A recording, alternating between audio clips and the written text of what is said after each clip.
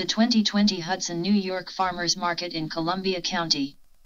Columbia County's largest farmers market in Hudson, New York has been providing products and seasonal produce from growers and producers for over 20 years. For 2020, there are two lots on Columbia Street. For the purposes of public safety and proper social distancing we are splitting vendors between two Hudson municipal lots.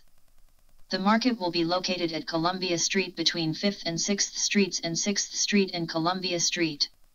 The main market is open Saturdays from 9 a.m. to 1 p.m. Most all of the vendors can be found in the metered municipal lot behind the church on 6th Street. The entrance is on Columbia Street, between 6th and 5th Street.